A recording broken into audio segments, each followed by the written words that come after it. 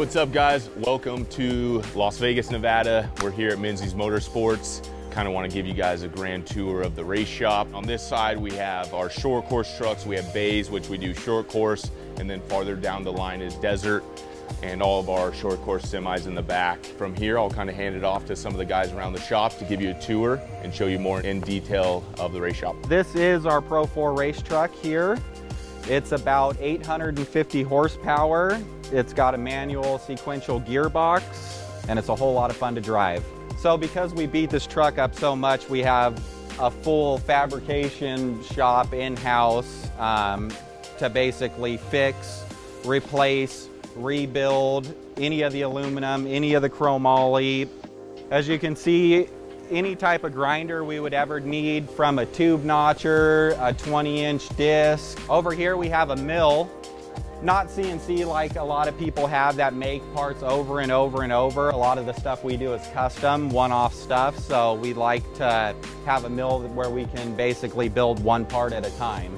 Over here, we call this the shop's best friend. We use it for everything. Making parts, cleaning parts, truing parts, just anything you could ever imagine this lathe can just about do. This is what we call the tire area.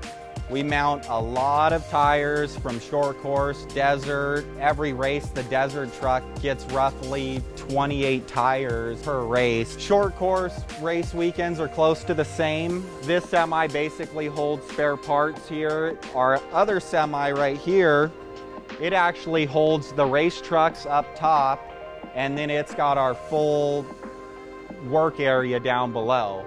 We keep, we keep the semi opened up basically while we're at the shop because a lot of the work that we do on the trucks, we do out of the semi. We have spare parts, spare transmissions, uh, anything, spare brake calipers.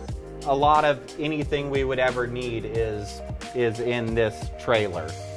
So next thing, uh, sitting next to the Pro 4, I guess I guess is another all-wheel drive, four-wheel drive vehicle here. Bryce uses this thing for everything. He puts a lot of miles on on these RZRs. Typically, these things will have a GPS in it, and a lot of times he'll load the mint course and he'll go out and drive a lap of the mint course. So it's it's an awesome tool to have for using pre-running, racing. This right here is his Ford pre-runner. It's his pride and joy. He puts so many miles on this thing down in Mexico.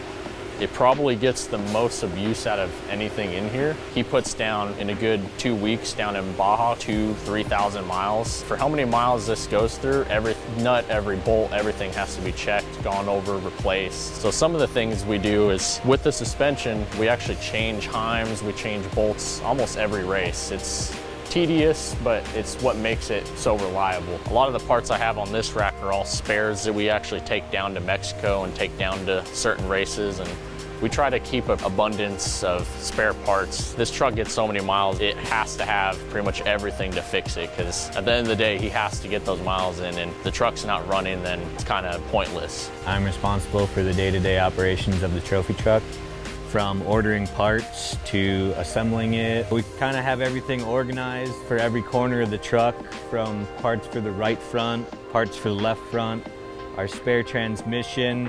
We keep our panels, everything over here. Workbenches on each side of the truck so nobody's fighting each other in the way. We keep all of our new and used parts organized side to side, parts that are ready to go on the truck and new parts in case we need it. Besides our toolboxes, our basic hand tools, laptops, uh, we don't really have much down here besides uh, Miller Welder to fix cracks and fix some parts if we need to, but we're pretty efficient down in this area. Unless we need to make something, then we'll head down to the other end, but most of our time spent down here. That's our whole team and our shop, and we'll see you out in the desert.